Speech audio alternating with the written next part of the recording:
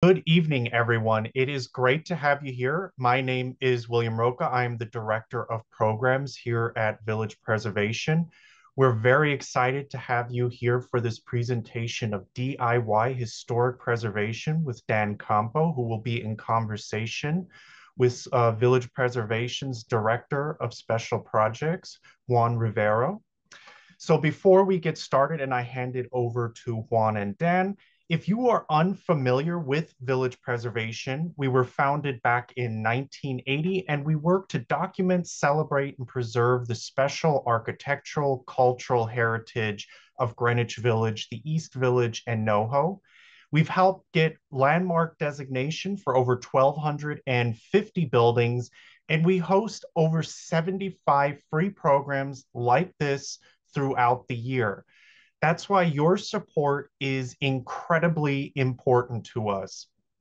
If you can take a moment, scan that QR code on your screen, and consider becoming a member of Village Preservation. While you're at our website, if you're just interested in learning a little bit more about the advocacy work that we do, how we support local businesses, the different programs that we have, and we have an enormous number of free resources, including virtual maps where you can even put your own walking tours of our neighborhoods together. So I highly recommend that you go over to villagepreservation.org. Now for some upcoming programs, this Thursday at 6 p.m., we have a virtual program, Rose Schneiderman, A Voice for Women and Workers. And then next, next week on Wednesday, October 30th, an in-person plaque unveiling for Frances Perkins.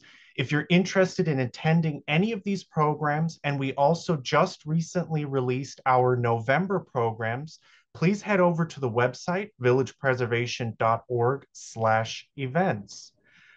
With that, I will hand it over to Juan, and I am going to disappear in the shadows.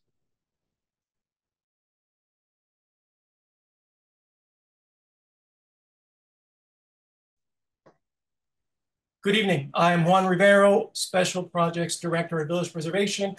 Welcome to our talk on the 2024 presidential election. Sorry, sorry, my bad. I got mixed up here for a second. Uh, this is going to be even better. We're going to be talking with Dan Campo about his book on post-industrial DIY preservation.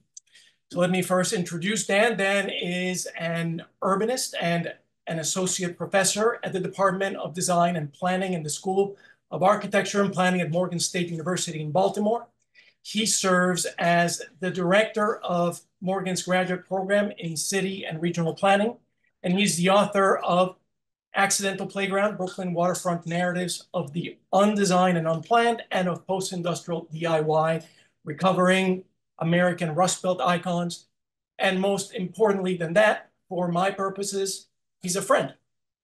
Dan and I have been on the same panel in multiple conferences over the years uh, because we share a similar set of concerns that revolve around the inability of conventional um, historic preservation practice to account for places that inspire widespread appreciation for reasons that are unrelated to architectural integrity or to tightly bound narratives of cultural significance. Uh, these reasons sometimes stem from a collective engagement with the place and with um, how that engagement is informed by the place's symbolic value and materiality. So Dan was um, studying this limitation of conventional historic uh, preservation practice by looking at a series of post-industrial spaces, abandoned or semi-abandoned, that had been drawing little interest either for their development potential or for their landmark worthiness, but that were nonetheless attracting a variety of small scale grassroots uses that had had the effect of stabilizing some aspect of these places, of generating a public interest in their preservation, and of helping pave the way for some form of redevelopment, however fragile or disputed. That refers to this process as DIY preservation. And he studied examples of these practices for over 10 years.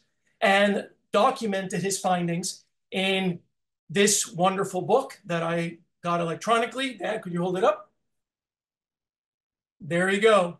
Uh, it is part industrial history.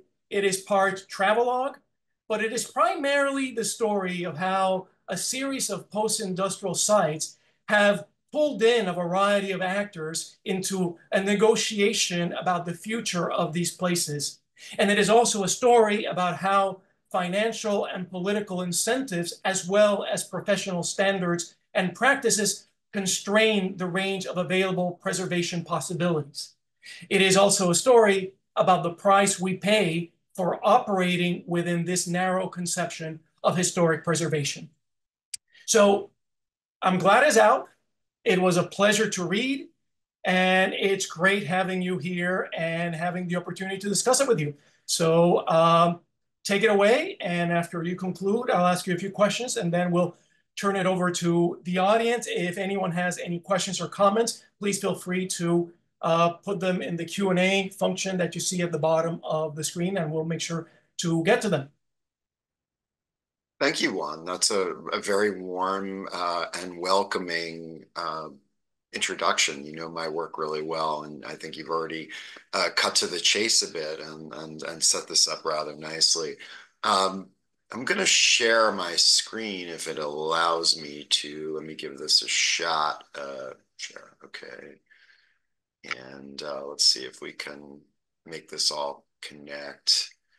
Um, let me go to uh,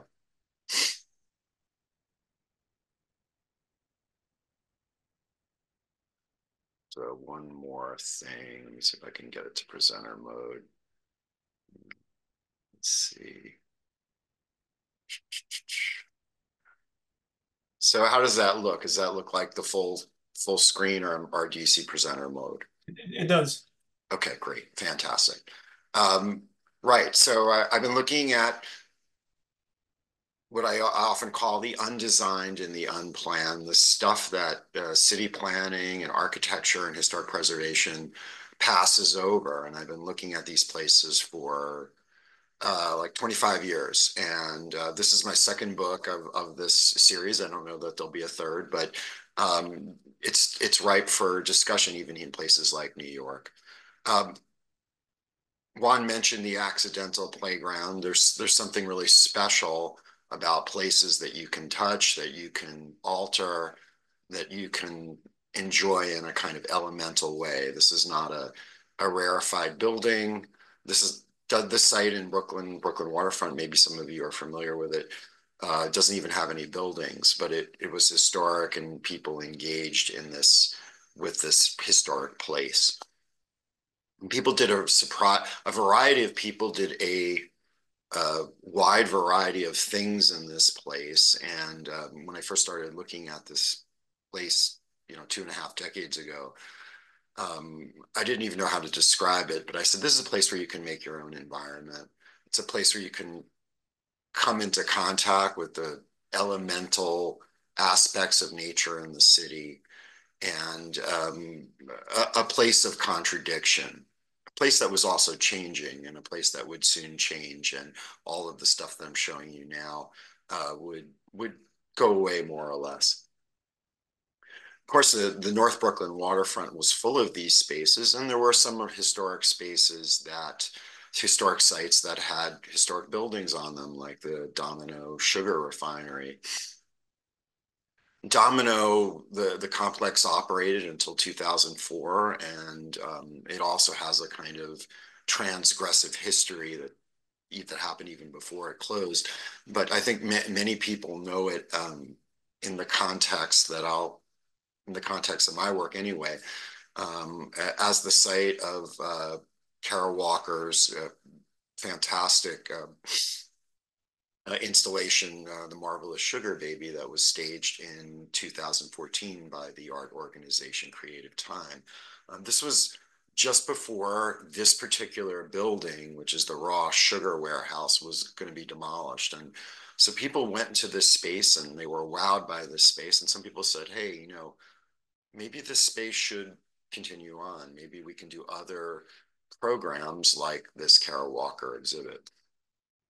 Course, this, the uh, big bad city was hungry, and uh, that building, along with uh, some 19 others that made up that former uh, refinery, were, were cleared, and only the the facade of the 1884 core structure of the refinery uh, was left in place. That's now been stabilized. There's a building inside of it, uh, and there are more towers. So this kind of trading this post-industrial waterfront for a version of, oh, Dubai on the East River or Shanghai on the East River.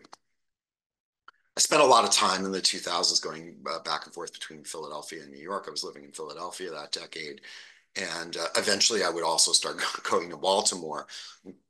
Philadelphia had its share of uh, abandoned buildings uh, and abandoned industrial buildings. And um, many of them had their own kind of transgressive do-it-yourself appropriated history. It also had its own a version of the accidental uh, playground, the Reading Railroad or pier now known as the Graffiti Pier, which shockingly lasted until this year uh, when part of the pier fell into the water. Um, a place for uh, transgression, a place for engagement with historic industrial structures, a place to kind of make your own environment. Also a place with a, a kind of uh, interesting, previously dicey uh, social uh, milieu as well. Um, so these places have their good and their bad, and, and that will mean different things for different people. Other structures in Philadelphia didn't last as long. This was the um, this was the uh, Cramp Shipyard Machine Shop. Um, part of a, what was once a sprawling, very large uh, shipyard um, site. And uh, this was demolished in 2007 to make a new exit for I-95 to serve the Sugar House Casino, the Sugar House Casino being on the grounds of the former Revere Sugar Finery, which was a victim of a previous wave of industrial demolition. Uh, there were other buildings that also came down during that period of the 2000s of the Schmidt's Brewery, some 20 buildings, including a, a, a lovely 1894 Victorian administration building completely cleared. Um, the Philco uh, radio and television plant, several buildings were taken down in that place, including probably the city's first daylight factory. And then there were others. And then this building here, and this was kind of the the turning point, the nadir for me anyway, personally, uh, was the demolition of the Gilbert Arts Building. The Gilbert Building was a building, a, a, just an office building. It was rather elegant. You can see it here um, in the moments before, as it's being demolished, actually. Um, was on the National Register um, and put there in 1984. And in the 90s, uh, arts organizations made a deal with the owner of the building and began to move in and to do um, do-it-yourself renovations and uh, staging arts programs there. And the the building by by the beginning of the 21st century, the building had quite a buzz, and people every once a month their their open studios were drawing people up and down the East Coast. Uh, there was sympathetic development going on around the building and uh, small, modest restorations and ad adaptations of office space in what was um, a, a, turn of the century office district. Uh, but this particular building was in the path of the Pennsylvania Convention Center and uh, the, the Philadelphia boosters wanted to bring that very, very, very large building, uh, one more giant Philadelphia block across one more block uh, to meet uh, North Broad Street. And that happened. And you see that here in this uh, building here on the left. That's the existing older part of the 90s part of the convention center and all uh, some 15 buildings in all were taken down to extend that convention center to the west, including the Odd Fellows Hall here from 1894 also on the uh, National Register. So this was done in the name of economic development, but the the area the area was already being stimulated. It didn't need it, and, and convention centers are hugely wasteful. Um, Anyway, what was going on in New York and in Philadelphia um, uh, kind of shook me, and I, I, I thought, you know, I, where where can we continue this experiment and grassroots engagement with historic places? Where, where can I find it? So I went out to Detroit and you know, I learned a lot in Detroit, and some of it wound up in the book, and some of it didn't. One of the places I was taken to within within an hour of arriving in Detroit is the Michigan Central Station. This was 2003, my first visit, and um, I mean, it's an unbelievable structure now being um, now recently restored and reopened by the, of all people, the Ford Motor Company. The interior of the Michigan Central Station. Michigan Central Station was designed by uh, Warren and Wetmore and Stem and Reed, the same team that designed uh, Grand Central Station in New York, the other, you know, also for the same New York Central um, company. And um, this building was abandoned in 1988 and uh, all kinds of transgressive uses happened inside this, this building. And this space in particular, the waiting room, uh, modeled after the baths of Caracalla, was the site of um, the Eminem video from 2009. Uh, beautiful, if you if you know that that video, much of it was shot inside of this particular building. I like to say this was probably the most famous abandoned indoor space in the United States, uh, but now it's been um, claimed by Ford and uh, you know not there's a connection actually be, between the informal and the formal, the appropriated, and what's actually going on there now. Ford was interested in that history. You can't go and look at abandoned industrial spaces in Detroit without going to the Packard plant. The Packard plant was the largest automobile plant in the world when it was finished in the early part of the first decade of the 20th century. It was the first plant made primarily of reinforced concrete. Uh, it was the prototype for nearly all auto production buildings through the 1920s, including uh, the designer was uh, the great Detroit architect Albert Kahn, including Kahn's famous uh, Highland Park plant and the River Rouge plant in Dearborn, uh, built for Ford. And a kind of buildings of Packard uh, were kind of a prototype for just about all factory architecture in the US. Um, in the 90s and early 2000s, it was the site of um, uh, techno dance parties and art experiments. That building now is it's been the bane of the existence of the mayor of Detroit and previous mayors, and it's now being progressively taken down as I am moving these slides. I get really interested in seeing uh, automobile factories in in Metro Detroit and Southeast Michigan, and um, I wrote a paper on it or co-wrote a paper on it. Um, the the punchline is basically any historic plant uh, in Southeast Michigan uh, was either subsumed by a brand new plant or uh, demolished and cleared, including uh, Buick City and Flint and uh, Jefferson North Assembly Plant, uh, the site of four earlier historic plans, uh, which uh, that, particular plan is actually still operative. But many of these places are, just abandoned open spaces now when um, the, the particular buildings look, maybe look something like the Packard building and could have been reused and adapted. Eventually I got over to Buffalo too, and Buffalo had its train station, but people were doing something about it. Uh, there was a grassroots preservation effort uh, around the station and a particular city council member got involved and uh, they publicly shamed the owner into um, uh, giving up title, fined him. Uh, the city took it and conveyed it to a not-for-profit develop uh, preservation corporation. This is in 1998.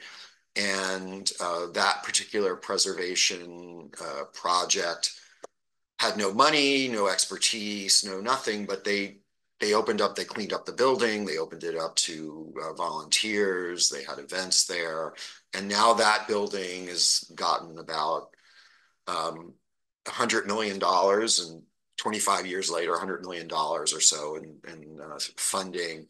And in state and federal and local funding, and uh, it's going to be a mixed-use development and so on. So um, I, I like try to look at things through a, a, long sweep of time.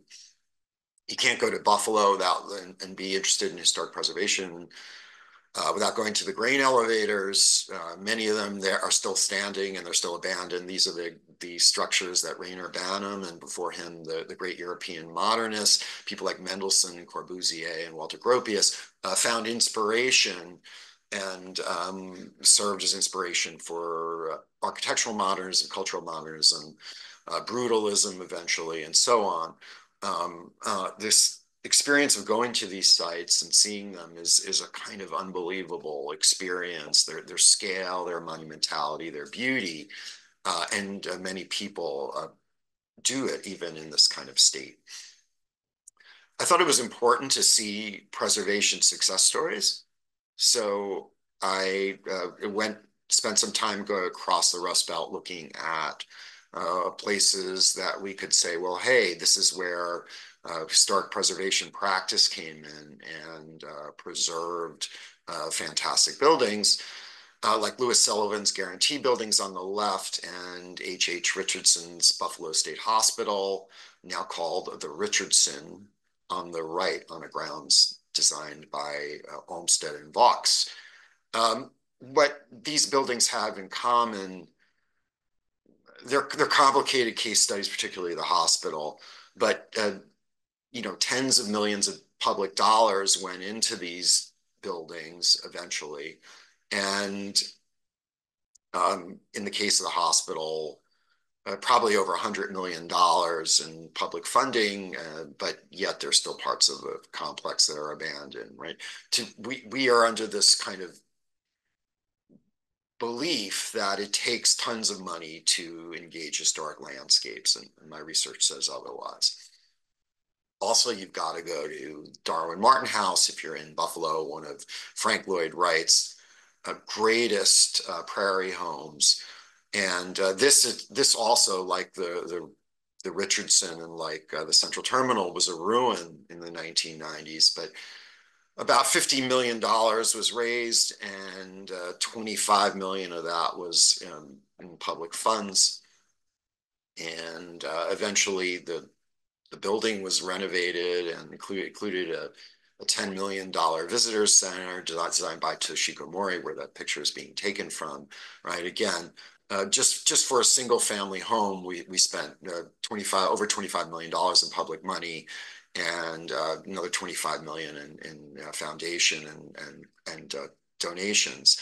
Um, what do we do for that train station? What do we do for the grain elevators? If if, if this is what it costs to do a, a single family home, places we can find success stories all over though they, they dot the map but again places like MASS MoCA very very expensive.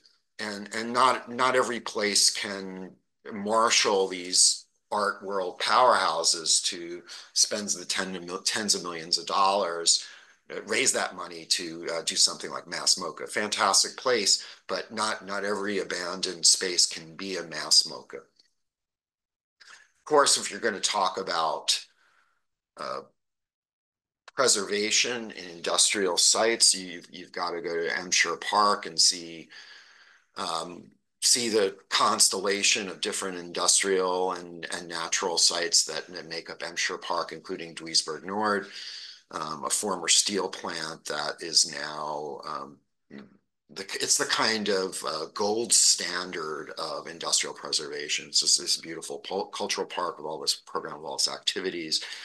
Um, but you know, we in the United States don't fund these projects like they do in the EU or in particular in Germany, and we also don't have the same kind of, I, I would argue, a, a playful approach about what we do with them. Right? We we we we believe in in the the Frank Lloyd Wright House uh, where we've got to kind of preserve things and as they were um, when Wright first designed them. Um, and, and, that, that approach doesn't work for uh, big industrial sites. And I would argue uh, also many civic and office complexes as well.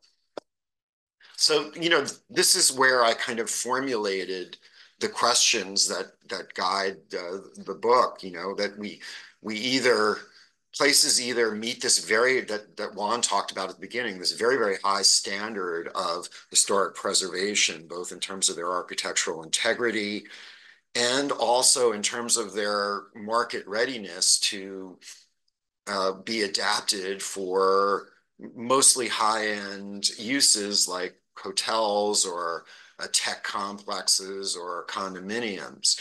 Uh, again, I'm, I'm not against using historic structures in, in these ways. And in fact, I've enjoyed going to see these structures or being in these structures, but, but we don't do it for everything and we can't do it for everything. And it's not appropriate to do it for, for everything.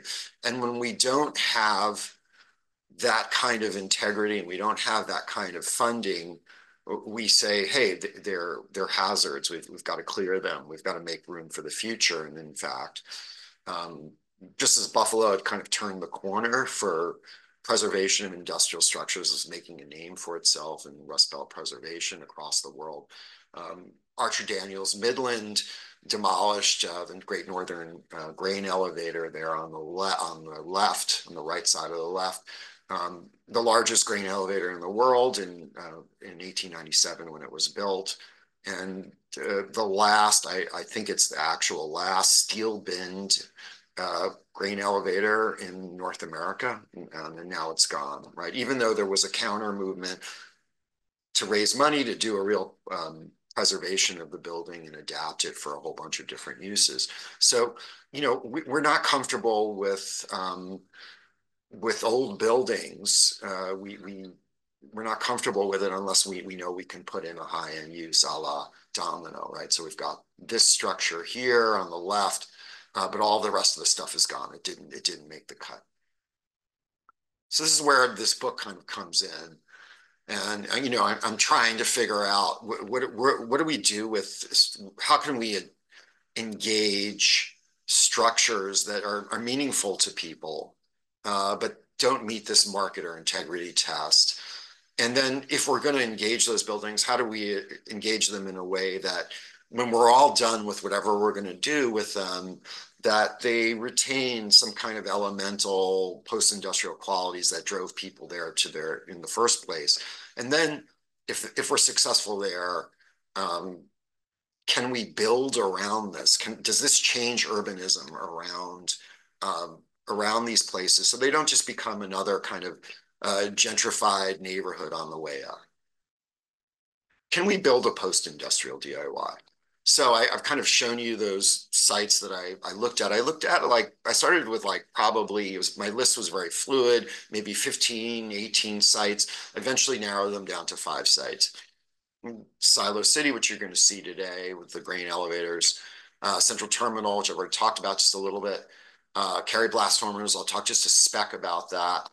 Uh, Packard plant, great chapter. I, I like to think it's a, it's a really good chapter in my book. Uh, difficult to write, but it's there. And uh, Michigan Central Station, um, which I've talked a little bit about. Let's look at Silo City. It's a it's a kind of a post-industrial success story, and it, it's all of these stories are actually still unfolding.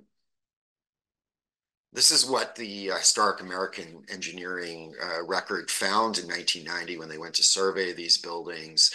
Um, some were active, some were not active, um, but it was an incredible uh, landscape as it was declining. But note there was no green anywhere on these sites. The, the four grain elevators that are going to be Silo City, um, there's one and uh, the other three are behind here, but it's in this this place that uh, called Elevator Alley, what um, Banham called the concrete Atlantis.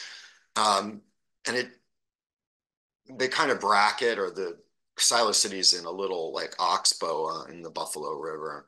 And the, the Buffalo River was a former industrial cesspool that caught on fire in 1968. It's been the subject of a, a decades long EPA supervised cleanup but yet uh, this this photo is from 2009.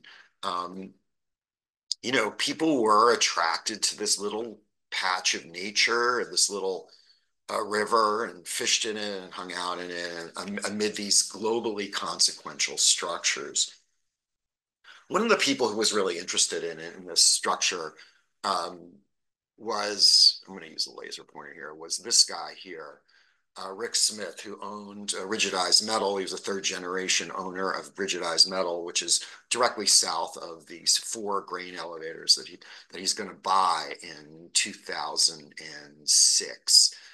And um, he wanted the grain elevators. He wanted just a bit of them. He ConAgra had bought up all these grain elevators from four different previous entities. They were built on separate plots by different companies. So ConAgra owned them in the early 2000s.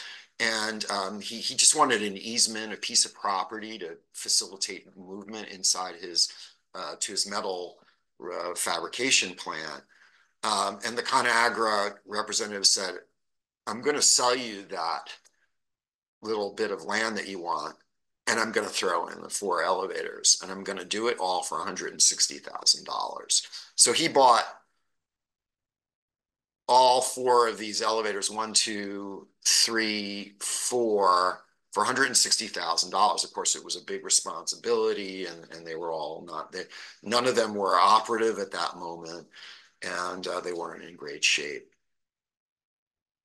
Um, his idea his idea was to um, his original idea was I'm gonna we're gonna create an ethanol plant and um, we're gonna use the grain elevators to store the grain that will go into the the plant. And uh, ethanol was on the rise in the early 2000s, and people had all the gas stations had to mix their gasoline with 10% ethanol. It seemed like a great bet.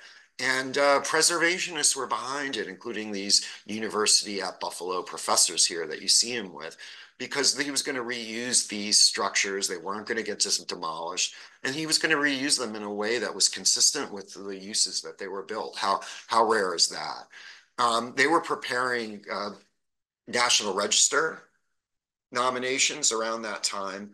Uh, but uh, Rick Smith ran into uh, some issues because he needed a bunch of permits and people didn't want to live near these ethanol plants. So there was contestation, there was lawsuits. Uh, eventually he, he outlasted them and he got all the permits in a row. But the recession, the Great Recession happened and the price of ethanol tanked and he was, it, it was no longer made sense to do this in Buffalo.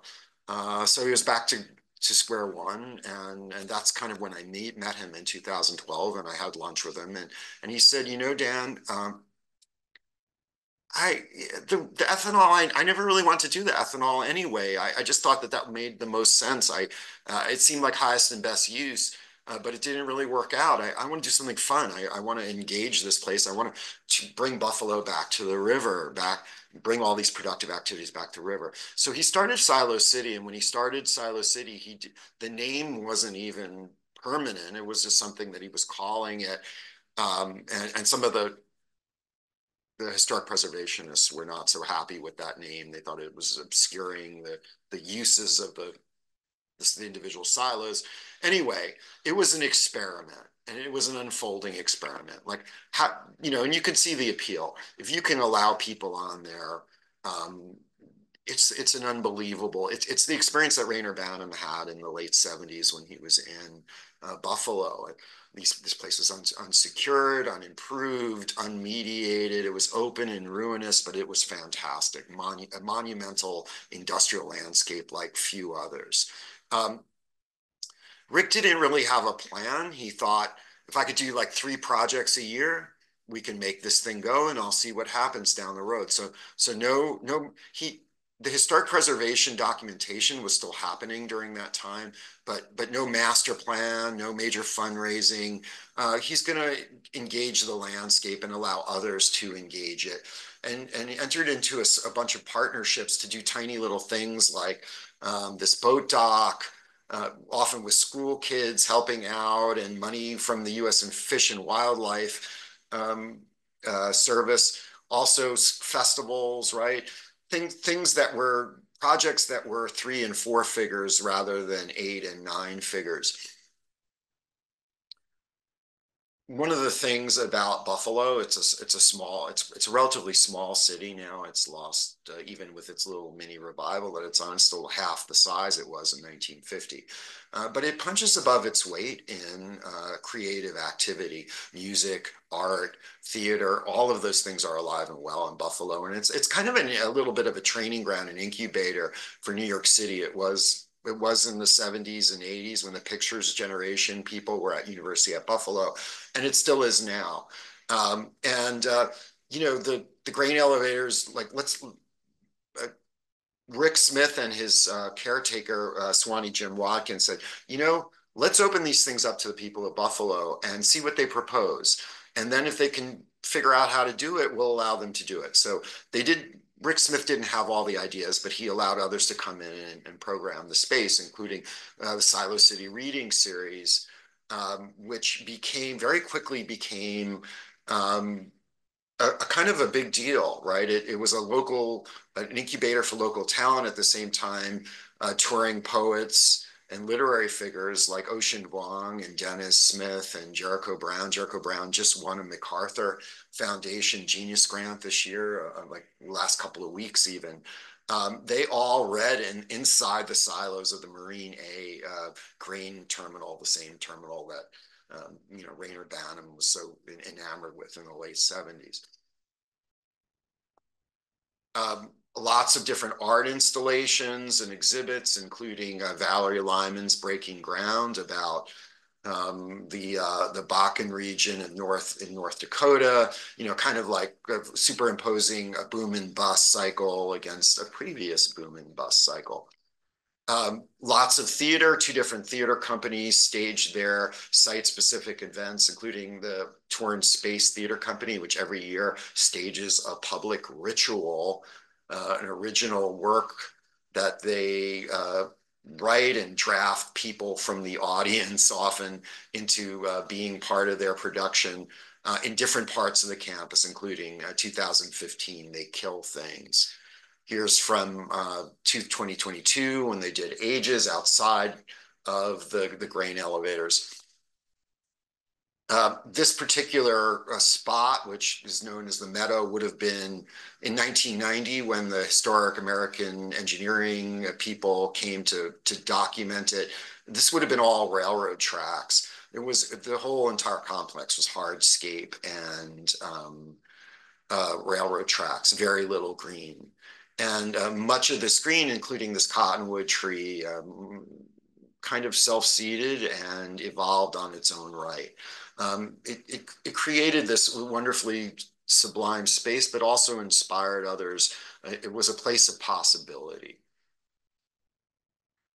And all of this kind of bottom up grassroots activity that Rick Smith is allowing on the site is also complementing all of the you know the cleanup the, the the formal and informal is is in dialogue here with the EPA cleanup of the Buffalo River uh, in 2009 in May when I took that picture uh, you know there was a couple of you know it's 80 degrees out and there's uh, like three boats that go by the river in, in you know 45 minutes by a, a decade later like any, at any time there's like hundreds of boats out on the river it, it's an unbelievable that that all of these different uh, elements are coming together to make something more than just a historic site.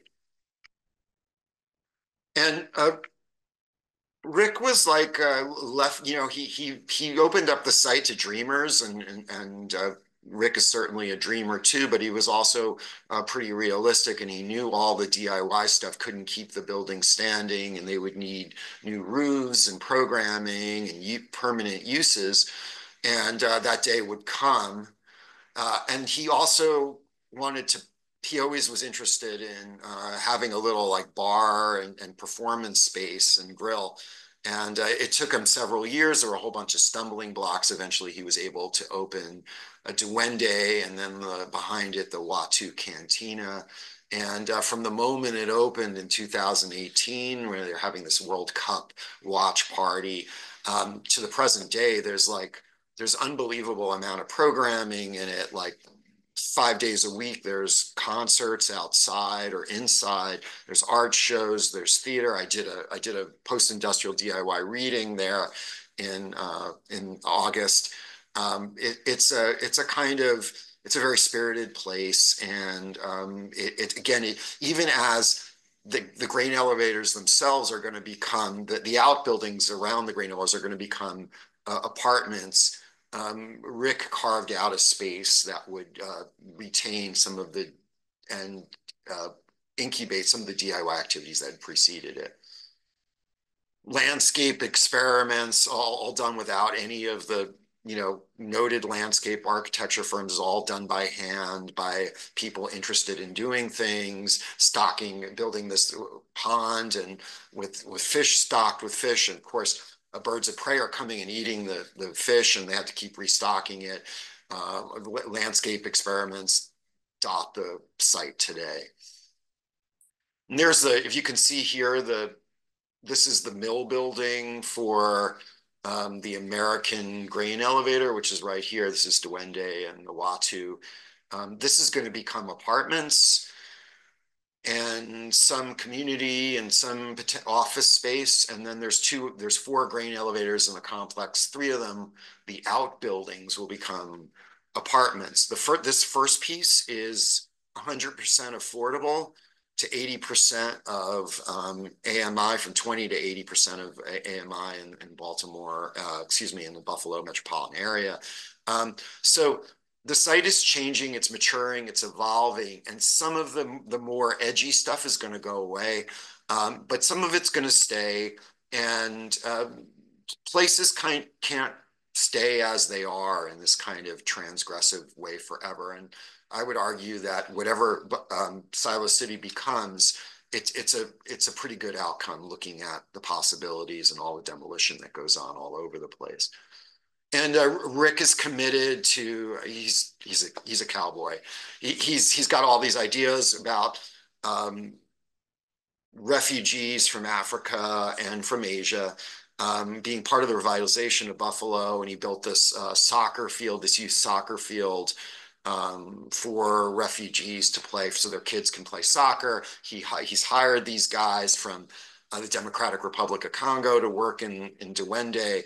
Um, so he's found ways to continue to do that, to to to channel the uh, the DIY at Silo City.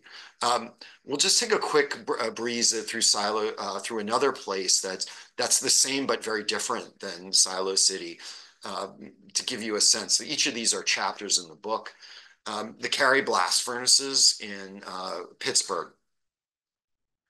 And there couldn't have been a more famous uh, steel plant in all the United States. This was U.S. Steel's flagship uh, plant uh, through the first five decades of the 20th century. This is the most famous, I'll say the most famous steel plant in the world during that time. And um, this is where on the right side of the Mon, the right bank of the Mon River, where they made the iron they put the iron, they poured it into uh, special uh, cars, railroad cars in, in, a molten state. And then those molten, those rail cars were taken over to the other side of the river where they were made into steel. Um, that steel became the Chrysler building, became railroads, became um, became the steel that went into shipbuilding that built ships for um, World War One, World War Two, um, wars previous to that. Um, all of the plate steel from the uh, for the U.S. Uh, space program was built there through the 1970s. Uh, you know, so Carrie U.S. Steel, Carrie that's synonymous with Pittsburgh, and I would argue synonymous with the American way of life, right? Anyway, this site here on the left side became the waterfront, a kind of giant shopping center. Um, not that I'm totally against shopping centers, very generic, kind of could be anywhere. Uh, there were some bits of the complex that were left in place, but they were kind of token gestures like the um, smokestacks that you see in the upper right. Um,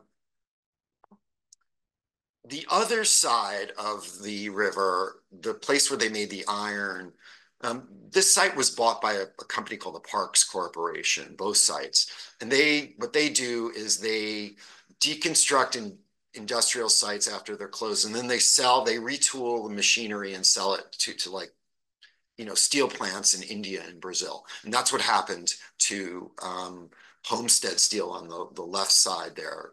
Um, those stuff, that, those materials, the presses, and some of the other pieces all went to uh, India and Brazil.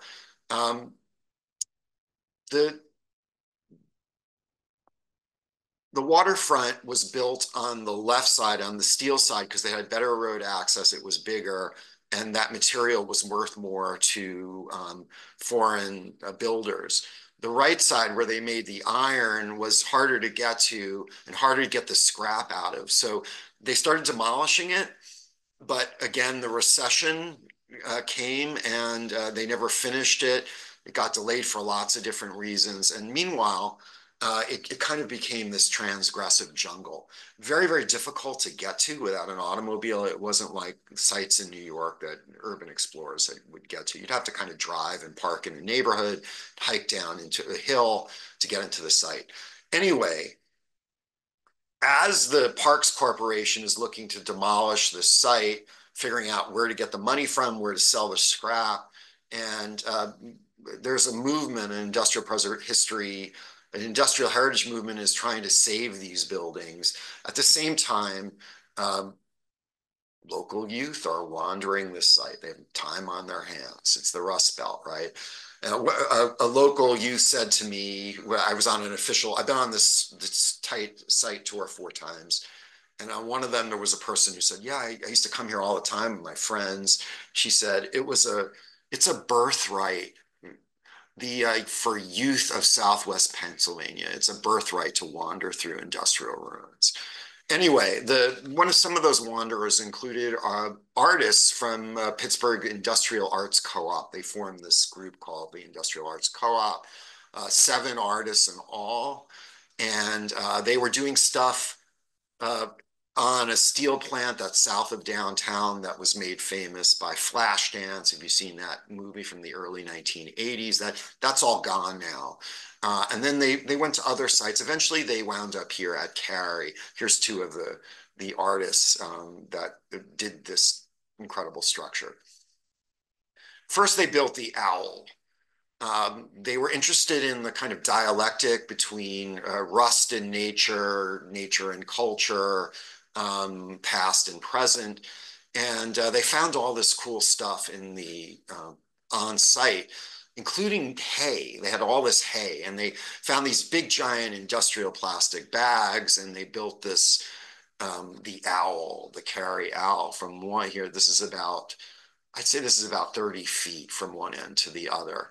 Um, it was a kind of cool, you know, all found objects kind of art.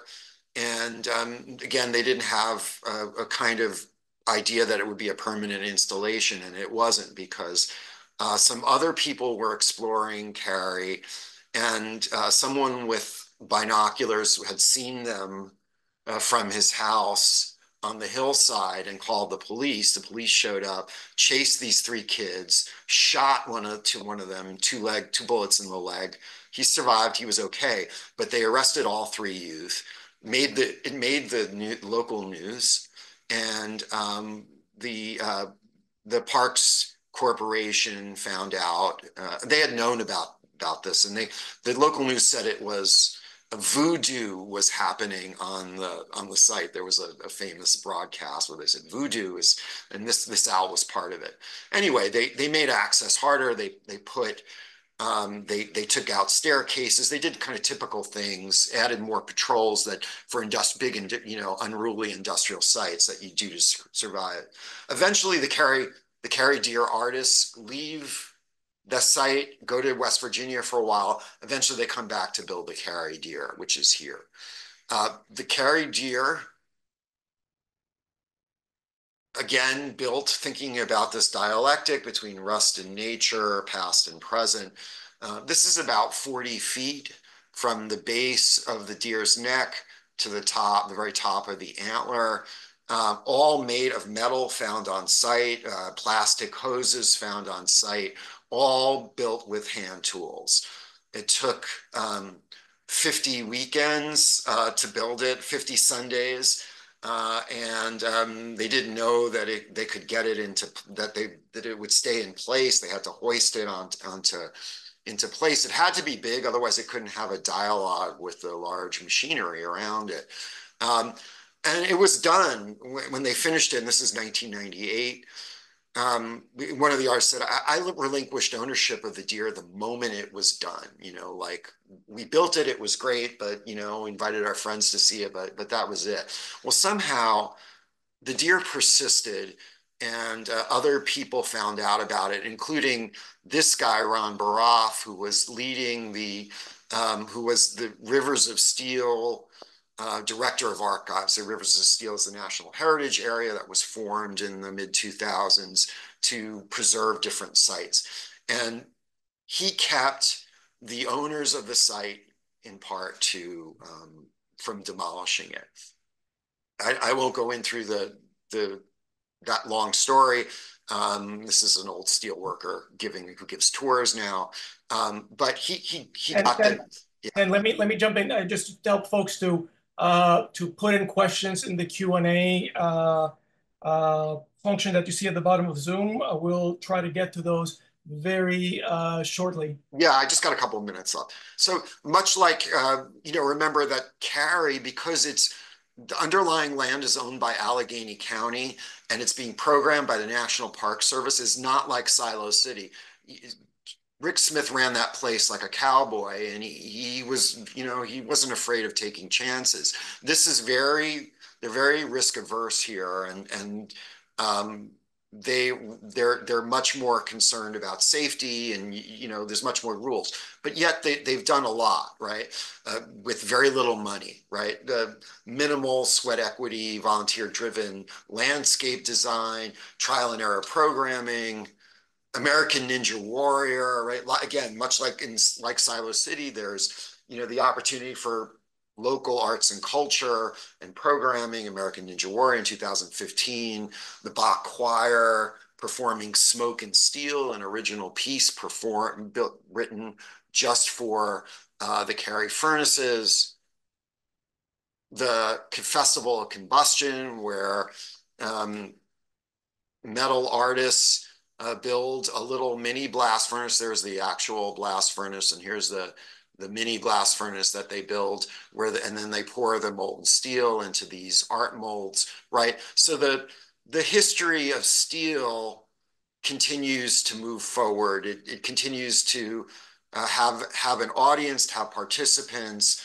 Um, metal making is alive and well. It's taken different forms now. It's not as important as it once be. This this site speaks to uh, what Pittsburgh is today as much as it speaks to its past. That, that moment where they pour the molten steel into the blocks of ice. And you can see that uh, Allegheny County, the underlying owner of this site, um, this is like 60 acres or so. This core piece is 29 acres. Um, they didn't like any of this. They wanted it all gone. They were saying we have to make make uh, warehouses and employ people. We need employment, right? Uh, this was the site of the failed Amazon bid, the, the Pittsburgh region's failed Amazon bid. But Rivers of Steel, the said we make that site more, we make those other sites more valuable. And in fact, Allegheny County now is able to market these sites in part because the blast furnaces are right here. Uh, it makes this whole place more valuable and, and they're going to have the, the tech flex space. They're going to have a, film production center. That's all being built right now around that. So just uh, two, two more slides.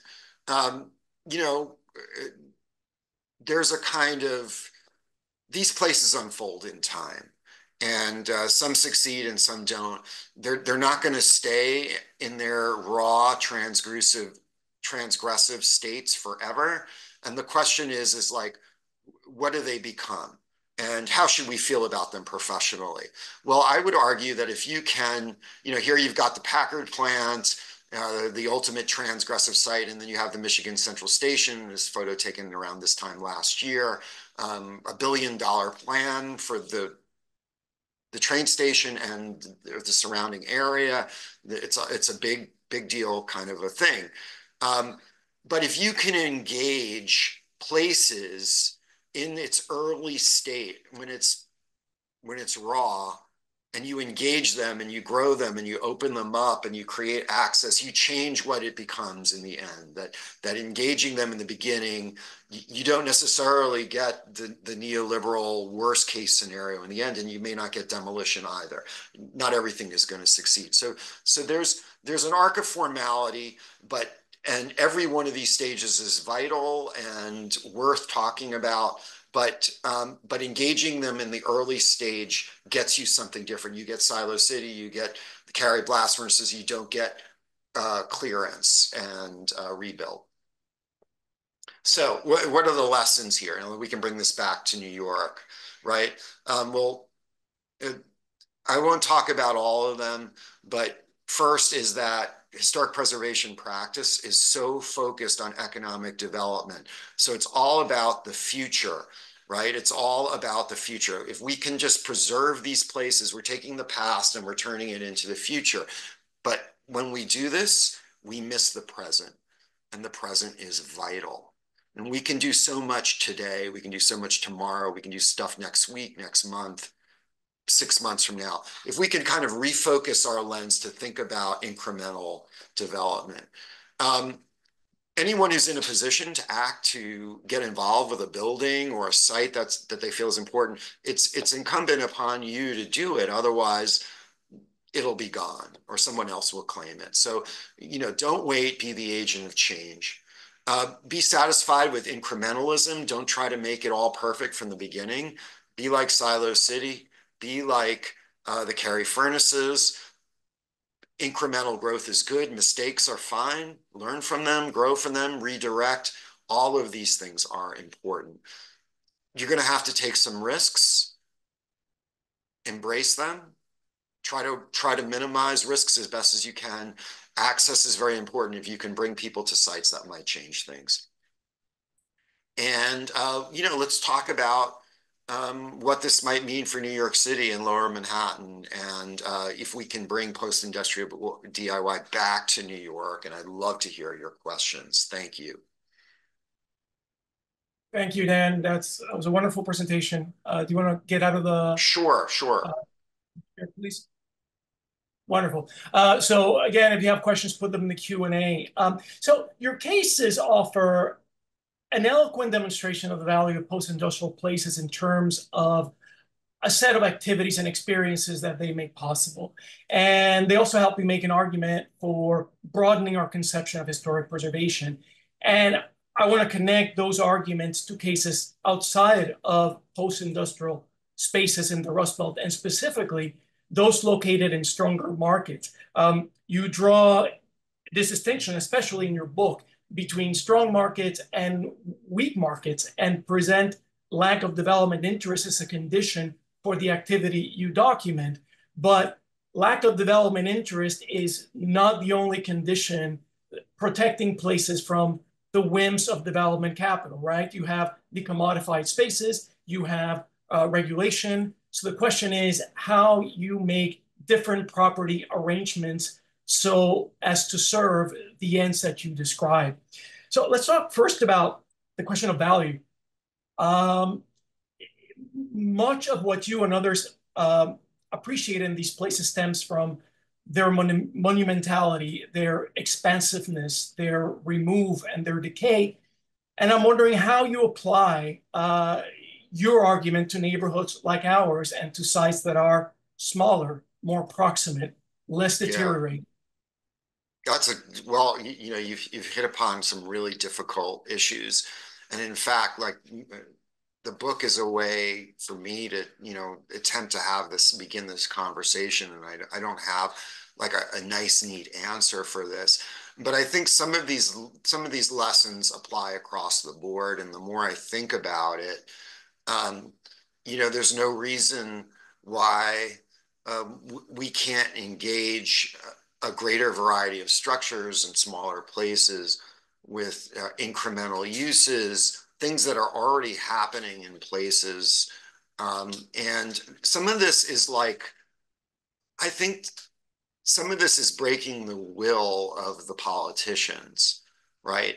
Again, it's this idea that, you know, this particular building or this site needs to service this need of the city. You know, in New York, right? Juan, you, know, and everyone knows we've got the city of yes, right? The, all of a sudden, you know, affordable housing is is like job creation in the Midwest. It, it's a kind of you, you can't argue for you can't argue against it. Whatever anyone invokes uh, you get labeled a kind of traitor or a gentrifier, or you want to keep people out, right? Um, of course, it goes against the whole idea of comprehensive planning with all of the different pieces that we need to, to make and run a, a city successfully and in a vital uh, urbanistic fashion, right? So I think we have got to kind of school our politicians and say, this is not about you know, knocking down that, you know, adding to that number of affordable units. This is not about like, you know, the, the 41 jobs that you're going to create or 62 jobs.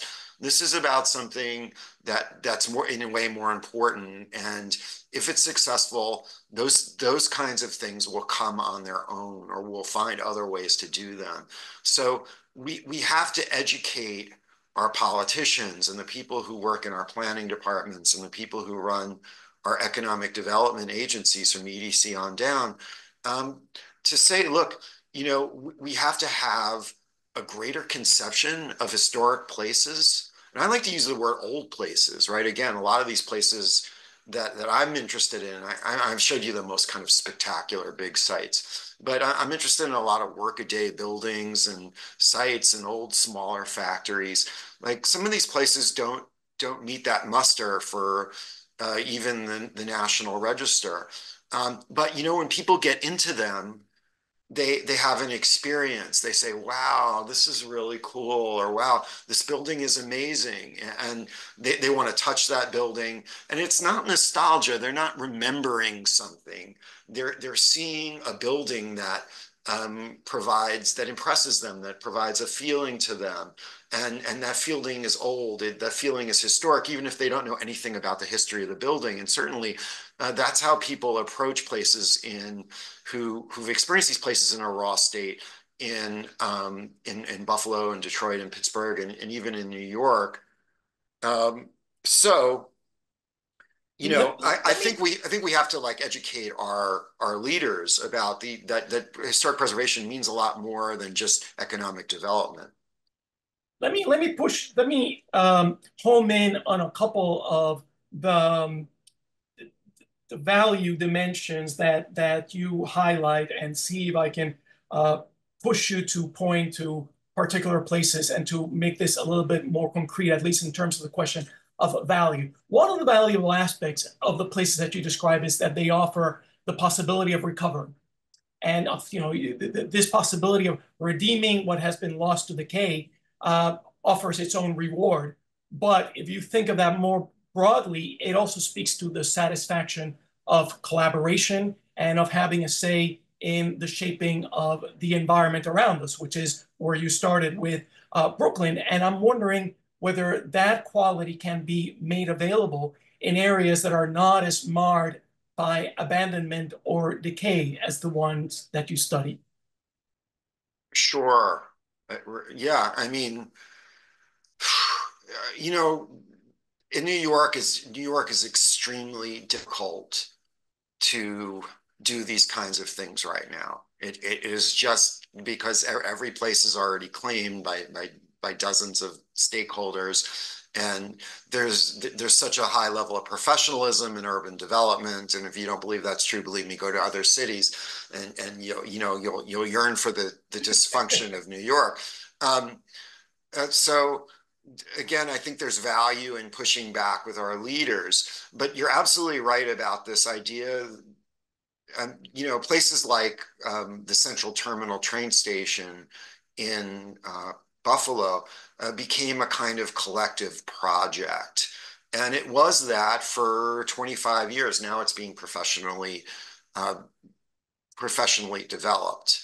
And they'll keep some stuff about it going on. And, and, and, you know, people who go there, you know, next year or five years from now when the first phases are done we'll say i remember when you could do this and the whole place was you know busted up and you know we but we had our cleanup and we had the you know the oktoberfest in here right? Um, i like to say these places are places of possibility and they allow people to get their hands dirty you know uh, doing something collective with other people right at a site that has more than it's more than it's like fixing up your house or your your boat or your van and you but it's it's a, it's on a collective level. So it, it maybe it's akin to um, like a neighborhood cleanup or um, yeah. you, you know a, a, community garden right? So so the, the question is is where, where where can you do this in new york city? And well you know we can't do it in east river park anymore um, you know, it's going to look different in New York City, and maybe it's less about the constructive arts. Maybe it's more about programming, right? Maybe that site on Wall Street, the um, that uh, fantastic uh, early 1980s um, atrium that was recently closed. Uh, that could have been a, a, DIY site, right? There was opposition, a lot of opposition to um, to the redevelopment plan of that space. I, I can't remember what the, the building address was or what the building was called. Um, it was a, a, Kevin Roche space. Um, so, you know, it's it's up to you guys to figure out where that space is and um, and to make that claim. Um, you know, like I didn't I didn't come up with the idea of like reclaiming the Brooklyn waterfront for interesting and cool offbeat stuff. Other people did it, and I just happened to observe it and record it, right? So um, I don't have one answer, and it's certainly difficult. But you know, New York is New York is constantly rein. We're all constantly reinventing ourselves in New York. The city's reinventing itself. Um, there se never seems to be any opportunities in New York, but yet We've got creative communities all around us. We've got venues for music, venues for art, right? And not everything is like this high-end gallery or, you know, the High Line, or the High Line's kind of cool, right? Or the Whitney. Um, there's there's stuff that's percolating up and, and there's there's a finite amount of material of, of post-industrial space left so we're going to have to start thinking about what else we can appropriate and transgress the example that you give the, of the community gardens, I think it is, um, it's the one that immediately came to mind. You know, like right. the, La Plaza Cultural in particular. So the, the story of that very briefly, you had a group of uh, community activists in uh, Loisaida. They started a cleanup of an abandoned lot that had become a dumping ground. A green guerrilla activist, uh, Liz Christy, seeded it and greened it. Artist Gordon, uh, Gordon Matta-Clark built uh, um, an auditorium there, and they even built geo geodesic domes as experimental experiments in affordable living. But that space today is democratically owned. Uh, it is garden, playground, farm, uh, composting site, performance venue, and an all-purpose gathering space. Now, if bonuses were given uh, for these kinds of spaces instead of for uh, manicured uh, um, parks or or or worse, uh, windswept plazas, maybe you might have something. let me let me ask you about. Oh, I agree. I agree. let me ask you about another uh, quality that jumped out at me. Um, the possibility of exploration and escape. That is something that you describe and that you describe as existing intention with efforts to offer the experience to more people. But one of the things that struck me was that that experience of escape and the possibility of exploration is more than just about physical distance. It also can relate to uh, temporal distances, to evocations uh, of the past. It can relate to contrast from everyday life, even if it's something as simple as observing the same surroundings from a different perspective. You offer the example of the High Line, and I would argue that for all its uh, uh, you know, for, all the, the, the qualities that we might criticize about it being overly prescriptive and overly that it still offers that. And that offers that wow factor of getting getting up there and finding yourself in some form of manicured meadow elevated over uh, whatever it is 10th avenue. Uh, now does that broader conception of escape make it available to even more crowded neighborhoods like our own yeah, I mean, I, I'm I'm not quite. I I agree. I mean, we, you know, we should cherish these opportunities, and and um, uh, we we shouldn't walk around like sad face that places have evolved uh, into something else. And it doesn't mean that that we shouldn't assert our right, our stake in places like community gardens, where we still have a kind of or, organic, no pun intended, action that's evolved to to something different now in 2024 than maybe it was in, in 2004 or 84 or 74, right? Um, and what what the next thing like community gardens uh, is going to be, I don't know. Um, uh, uh, New York is is just full of spaces and you know, uh, big, big bad neoliberal capitalism and real, real estate development seems to be grabbing everything, and then you find something that that's inexplicably left behind. Uh, so I, I don't know what you know. The, we're, we're living in a different era than than you know the the, the last three decades of the the 20th century.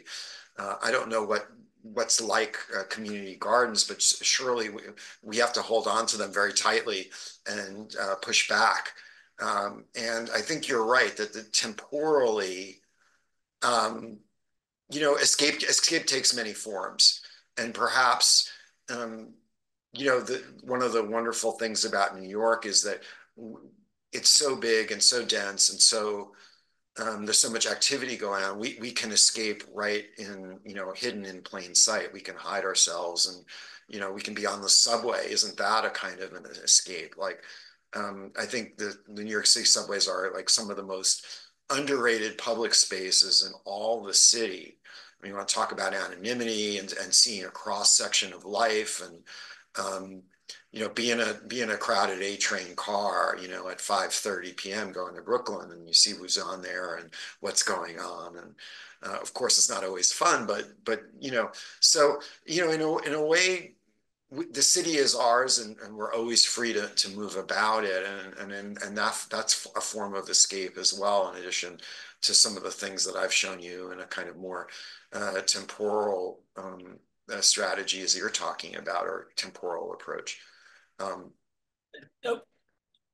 let's talk, I wanted to ask you just because this is a point that that jumped out of me in in the book about how specific to what extent the, the stuff you describe is specific to post-industrial um, structures. Uh, to what extent the experiences you describe depend on the design and materiality of, of those, and to what extent are they foreclosed by design of subsequent eras? You talk about how uh, plants that followed do not somehow offer the same qualities that the ones that you describe in your cases make available you know, is that the case? Have we, uh, you know, are we really dealing with a, uh, a shrinking inventory of places that might provide this? Are uh, sort of high modernist structures yeah. not equipped to decay in a way that will um, lend themselves to reuse in the same way? That's a good question. I mean, there's certainly a fine line. Like the city has real needs in terms of infrastructure and like a lot of the places that I, I've, I've studied are, are waterfront sites. So waterfronts will crumble, they'll be dangerous. You know, they, they, they, they can't stay the way they are um, forever. Um, and fixing waterfronts, it, if you really want to fix them, you can't do it DIY. You just you can't. You know, they they it's millions of dollars to to rebuild bulkheads and rebuild piers and so on. So there's a lot at stake and uh, but you know we could add a kind of a more playful approach to go along with the kind of um, you know finished polished slick wow park uh, that you know represents the High Line or uh, Brooklyn Bridge Park, right? Like, you know, we, we've not everything should be Brooklyn Bridge Park, not everything should be the High Line. Like, whatever that next space is, it, it should have a kind of um, evolving. There should be some space in it that's evolving. That's um, community determined. I don't really like to use the word determined, but but uh, stakeholders stakeholders on the ground have um, a, a, legitimate stake and and have um, some ability to affect the form, function, and uses going forward, um, a la community gardens. So maybe that's the um, uh, the abandoned um, Mont, what was called for a while the Montauk cutoff in uh, Long Island City and Mass Maybe that that can be something different. Again, Brooklyn Bridge Park is fantastic, but but I can't go there with like a shovel and a hammer and start taking things apart and building something. You know, it's it's pretty well patrolled, and sure enough, the uh, security there will will come and stop me, perhaps even arrest me, right? So so our our you know, our zeal to make things, to revitalize, to recover is so great that, you know, and once we spend millions of dollars, we, we don't want people messing up our spaces. And, and that's a perfectly good, that's a perfectly legitimate impulse to say, no, well, look, we just spent $5 million on this complex. We put in all the drainage and we've done this and we planted it. And, you know, it, it's, it's, you've got to sign up and get on the list for the, the softball or whatever we're going to do on this field. Um, but, but that, somehow we, we've got to leave a piece behind, I think. You know, and that, I, I think... that, that, taps into into two interesting debates, uh, and I there are some interesting comments that I want to um, raise. One of them is actually a, a follow um, or uh, the story I was telling about the community gardens just moved forward to now. But the, your observation about uh, uh the kind of development that we do taps into two long-standing planning debates. One that has to do with the um, relative merits of incrementalism versus large-scale large scale planning, and the other one that has to do with our uh, failure to plan the sort of physical and functional diversity that that you and before you, uh, James Scott, and before that, Jane Jacobs celebrate. So uh, we can take that one first. Uh, you know, can you, cons- I mean, we've been asking each other, we've been asking ourselves this for, for decades. Uh, is there an active role for planning and preservation to play in fostering the sort of activity document other than just getting out of the way and letting whatever happens happens with it, which is exactly what Rick Scott of Silo City did. Is that the best we can do? Well, it, I mean, when I'm presenting it to you here, it, I, am giving you a kind of a simplified form. Um, I think you can argue that in places like the central terminal, which I really didn't talk about in, in, in great detail, um, are following that arc of formality. And, and, and now it's turning into something conventional, but um, the, the people on the kind of public and on the official public end, um, you know, there there is a kind of playfulness to to the to the master plan and and some of the the way it's programmed. You know, we're not all going to.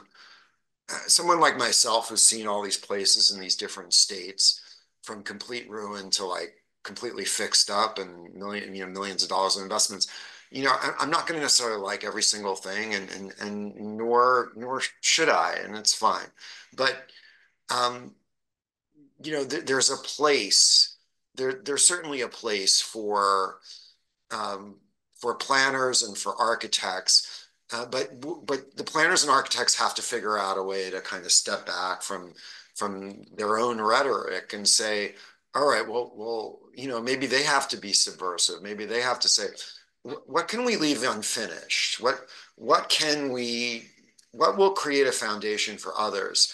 Maybe maybe we don't have all the answers. Maybe 10 years from now there'll be something even better. When, what will allow for that thing to happen?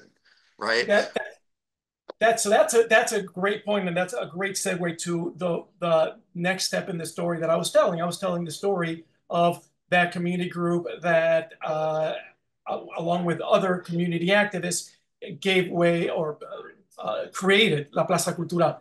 Uh, that group, Charas, went on subsequently to squat in the abandoned building, uh, the, the, the, PS64 building, uh, doing repairs and eventually turning the space into an all-purpose community and cultural center, uh, which it operated until uh, Giuliani uh, evicted them, of course. Um, and despite efforts by the building's subsequent owner to demolish the site or otherwise develop it for profitable uses, the group and other community allies, including us, uh, were able to uh, obtain landmark protection for the building. And, uh, and eventually the property was foreclosed. This happened just last year. And it is now in the hands of a community-oriented investor who is working to stabilize the structure and then return it to community use, which raises the second debate that I mentioned, which is that of the relative merits of incrementalism, uh, which, you know, like the alternative, large scale planning, everyone keeps maligning, uh, but we keep doing it. It's more expensive, it's riskier, but those who benefit from big splashy projects always find a way to rationalize it, rationalize it no matter how stupid. So I'm wondering how how do how do we get to uh, you know in a way this this vision of uh, of increment the vision of incrementalism that you propose is is very uh, you know I was on board. It's almost like a, a Zen sort of preservation practice that is less focused on achieving a fixed state than it is on the process of becoming and less process. preoccupied with long-term goals than it is with the now. But how do we uh, how do we convince planners or how do we convince the city to embrace uh, incrementalism and how do we convince preservationists to uh, focus on its breadth and embrace the inevitability of constant change? Yeah, it's a great, it's a great question. I, I, I would, I would challenge everyone to like, if you're up for it, read my book. It's, it's very readable. It's only 20 bucks now with the discount code that we, we circulated. Um, you can with, with free shipping. I just threw that out there just so you know it's not some super expensive book. And you can um, find then, it. You can and, find it in you can find it in the Strand and independent bookstores. So uh, yeah, and the, if you could share the discount code again, DIY25.f-fi, yeah.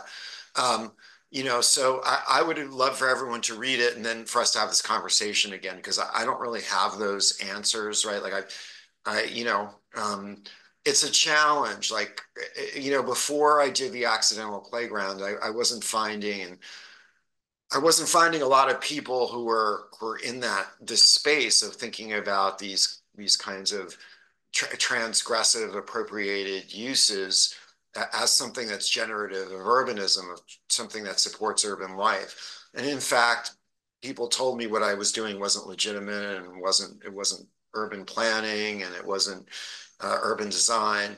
Um, and so, but but now we're in a space where people at least can acknowledge that that these ideas and these places uh, people found them satisfying and, and they had a particular um, verve about them, a particular kind of form of magic that, that drew people in. So we, we, we've made some progress.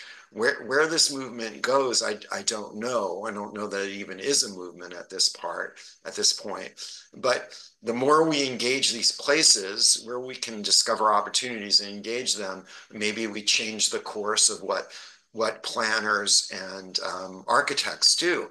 What, I, what it's interesting, I think, in Buffalo, there's some context in, in the book about this, particularly in the, the chapter on uh, Silo City, is that many of the people who did, who either appreciated Silo City or uh, did some people who did programming are also people whose day jobs are planners, architects, or preservationists that, that work for the city or work for a, a design firm.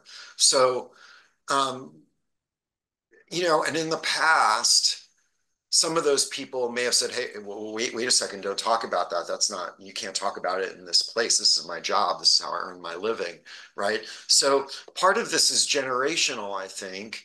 And uh, the, the people who come next who have known these places as places of possibility rather than just ruins that remind you that um, there used to be thousands of people employed on this site, or in New York City, there used to be an office building here with hundreds of employees that were doing major transactions, and now the building is vacant and we can't figure out a use for it. Um, those people, whatever that next generation is that sees these places as places of possibility, they will get excited and they will think like it's up to me. It's up to me. It's up to me and, and other people around me to, to figure out how to engage these places. And from my spot as as city planner as architect. Maybe i can help facilitate it but i don't i don't know what those individual steps might be so much or i only know you know in, in, in very kind of broad strokes and abstract. And each each of these sites is so different and uh, it's it's really hard to generalize. That is a that is a, a uncharacteristically optimistic note on which to end. We still have a few minutes. Uh, I can ask you uh, a less optimistic question, or I can invite other folks from the audience to ask uh, any questions they might have. Uh, there's another. Um, Somebody's got their hand up, so it'd be great to hear from somebody in the audience. Where, oh, um, I didn't. Wait a second. Uh, are you able to? Yeah, are you able oh, can to? You turn?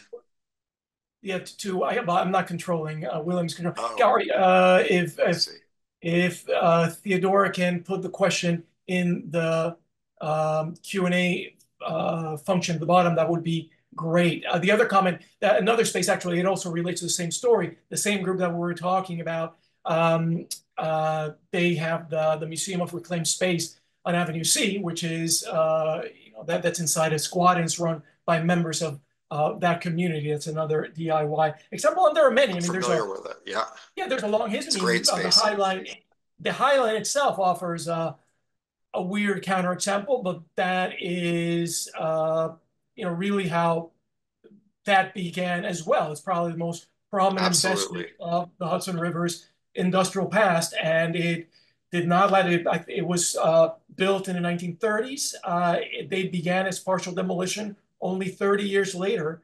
Uh, the rest of it was shut down in 1980 and then remained under threat of demolition by the like of, again, Giuliani, where yeah. the man where poetry goes to die. Uh, and during which time uh, people keep kept sneaking up up there and uh, and were drawn by this surreal experience of finding themselves in this elevated, uh, uh, just uncultivated meadow in the middle of the city.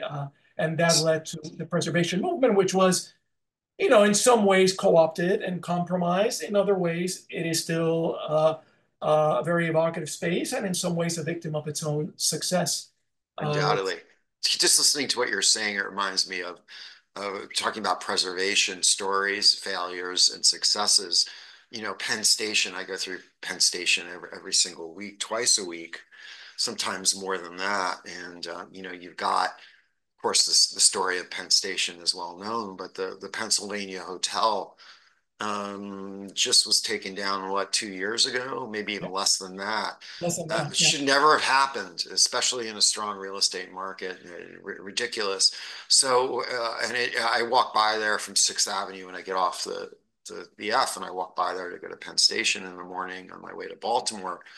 Um, uh, but I walk by, it's this giant cleared site. So you know, what can we convince the powers that be um, to make, you know, there, that part of Manhattan has so much infrastructure in it. It's so much stuff that, that most of us have no control over or no no input to because it's just beyond us.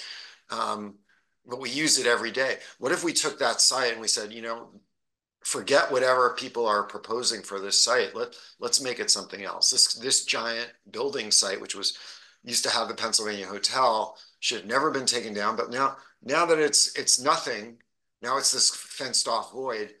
Um, let's take that site back. Let's do something on that site. I don't know what it is or what's appropriate, but there's a site for uh, local grassroots stakeholders, instigators, appropriators, protagonists that that that we can do something on. That's I'll be marching challenge. right behind. That's I'll be marching marching right behind you, Dan. Uh, so we have run out of time. Thank you so much for uh, well, thank you very much, Dan, for joining us. I'm hoping to continue this conversation, maybe uh, maybe on, on the East River uh, over beer. And thanks everyone else for joining us and uh, be on the lookout for upcoming programs. I'm doing actually one on City of Yes, uh, uh, which is uh, the hearing is happening right now. And once I hang up, I'm going to go back because it's still going on and I still haven't testified. Um, so I wish you all a good night. Thanks, Juan. It's been a pleasure. Bye, everyone. Thanks for tuning in.